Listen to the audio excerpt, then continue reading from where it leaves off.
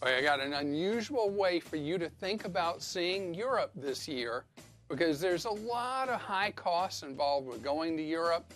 But do you know this could be the year of the bargain Mediterranean cruise? Ever since that ship went over on its side off the Italian coast, bookings have been soft for cruises, but nowhere in the world more than in Europe. And it's not just because of that shipwreck, it's also because the European economy is in a shipwreck too. So Europeans who might have booked cruises, they're not doing it either.